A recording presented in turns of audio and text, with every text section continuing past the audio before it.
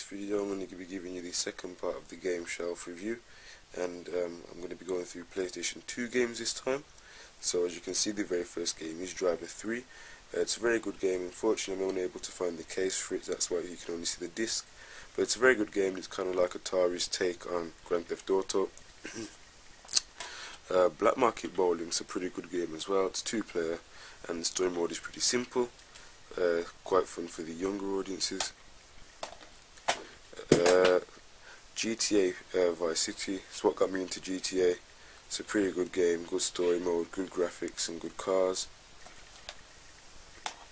Uh, Roller Coaster World, uh, it's got good graphics again. Uh, quite a few of these games got good graphics actually. Uh, it's pretty fun uh, to play. again, it appeals to the younger audiences and it's quite creative. it's a good game to play if you're bored, so to speak. Um, Next game is RSC Extreme. Uh, sorry guys, I've got a bit of a sore throat, so I'm talking a bit funny. But uh, RS RSC Extreme, I haven't, I haven't, really played this game in a while. Uh, it's a pretty fun game, it's a rally game. It's again, it's split screen, and it's, you know, like any other racing game. Need Speed Carbon, similar to Need Speed Underground if you played it.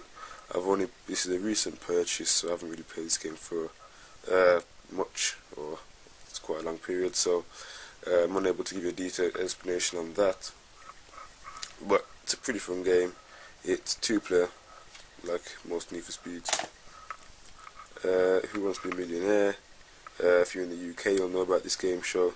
It's pretty fun. You answer questions. Uh, you wake up and try and get a million pounds.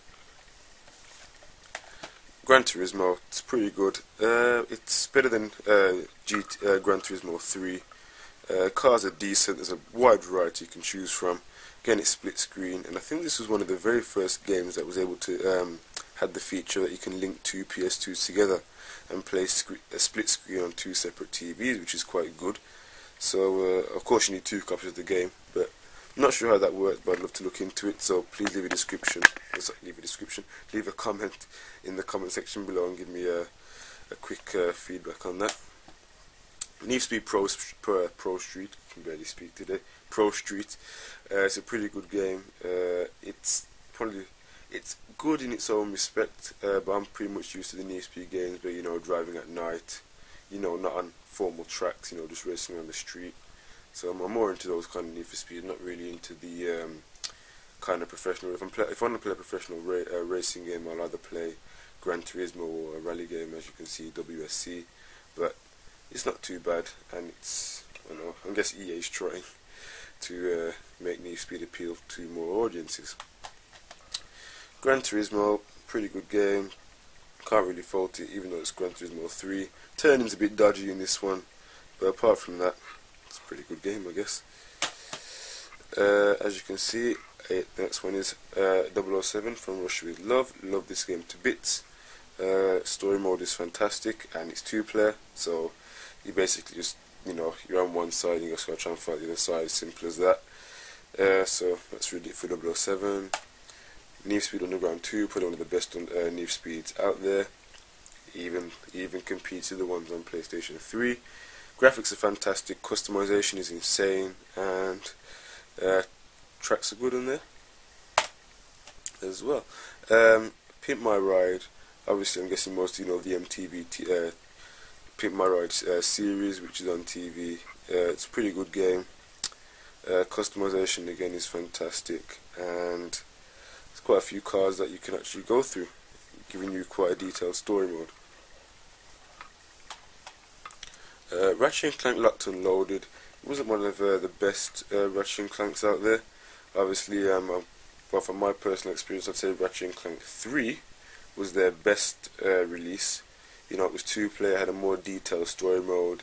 It was just uh, overall a better game, and this one never really appealed to me. Found it a bit boring, and to be honest, I think the first and Clank was better than this one, to be honest. Uh, 007 Everything or Nothing. Uh, my take on this game, it was pretty good. It wasn't as good as Russia from Love, but the thing with this one that Russia of Love did not have uh, you can play two-player co-op, which is probably better than you know if you get fed up of versing each other. Maybe you want to do some co-op. So this game is pretty good for that, and uh, yeah, it's a pretty good game. What can I say? Um, as you uh, might have known, I did a um, a full review on this uh, game actually on my channel not too long back. Uh, it's a pretty good game, especially when you got the cheats on. It's fun to play, and it was the first uh, Tony Hawk on PlayStation 2, I believe. So it's pretty good, uh, considering it was the first release of PlayStation 2, so it's done pretty well. Uh, Spider-Man, I've not played this game in years, so I can't really give you much information on that. But if you uh, well, uh, like to leave a comment on it, please feel free. Uh, this is probably one of the worst GTAs I've ever played in my life. Graphics were poor, story mode was poor, cars were poor, pretty much the whole game was poor. It was just like a blatant copy of GTA 3. Absolute flop. Tony Hawk Pro Skater 4, it's a good game to play. Uh, lots of uh, fun uh, skate parks. Um, Cre uh, Creator Park was good as well, wasn't too bad. So, uh, yeah, it's alright. Pile's getting a bit higher, better move to the side. And here's the best Ratchet and Clank you could, money could possibly buy. Ratchet and Clank 3. Story mode was in so much detail. Uh, split, uh, not split screen, sorry. Well, yes, split screen, multiplayer, two player, whatever you want to call it. But it was pretty good as well. Uh, graphics are pretty decent, and this game in general is quite fun to play.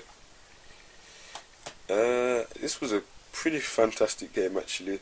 Uh, extreme, uh, it's, it's called Extreme uh, Train, whatever it was, something like that. What's the game? Sorry, I can't stickers on there. Uh, World Grand Prix. Uh, Prix. Sorry, World Grand Prix. Um, yeah, uh, pretty good game. Fantastic to play, and yeah, split screen as well. So it's a pretty fun game to play and lots of different uh, cartoony trains to choose from. So uh, it's a good game. I would recommend this one. Uh, Tony Hawk Underground, was probably one of the best Tony Hawks out there for PlayStation 2. Fantastic, graphics are perfect, and story mode is great. So that's the end of, that's the end of the uh, PlayStation 2 series of uh, the Game review. Hope you enjoyed it. Thank you for watching. Rate, comment, subscribe, and have a pleasant day. Bye for now.